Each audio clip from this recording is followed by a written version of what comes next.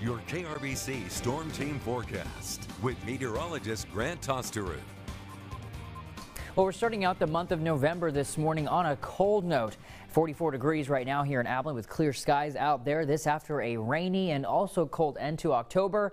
But that wasn't just yesterday. That was the story of most of last month. In fact, check out all that blue out there. These are afternoon highs at blue color days that were below average for that day. In fact, we saw three in a row back there in the middle of the month where we set record cold afternoon temperatures 45, 45 degrees both towards there in the middle of the month, 48 that next day.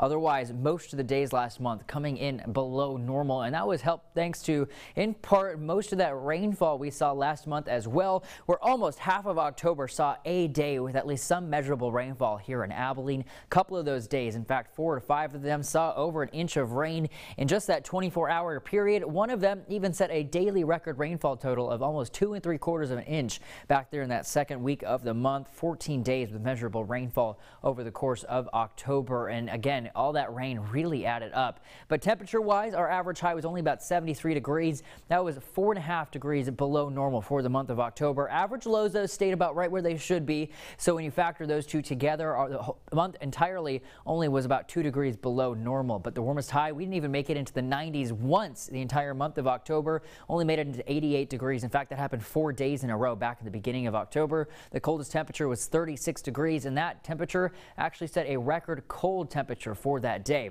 Rainfall for the month ended over 12 inches. In fact, the rain we got yesterday equaled about three and a quarter inch out of the Abilene Regional Airport, and that pushed us over that 12 inch mark. Again, keeping us the wettest October on record here in Abilene and also keeping us the third wettest month ever in Abilene's history. So it will go down sure, for sure in the record books. Now, November looks to start out a little bit more mild, although a couple cold fronts are going to keep our temperatures on a roller coaster, warming back into the 70s by Saturday, falling again on Sunday with another cold front that could bring a chance for rain and thunderstorms on Sunday.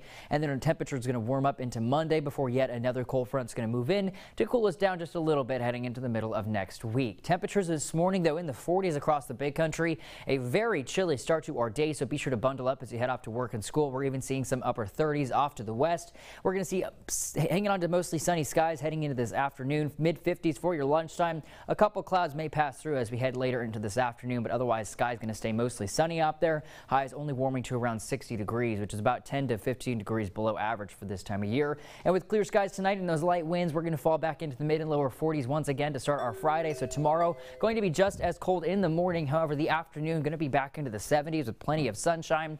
Winds pick up for Saturday ahead of another cold front. That's what's going to bring chances for rain on Sunday in 60s, 70s again by Monday though, before yet another cold front will keep us in the mid 60s as we head into the middle of next week. All right, it is fall weather out there. We yeah. broke some records. Maybe we won't break any in November. Hoping okay. it's a little bit quieter for sure. I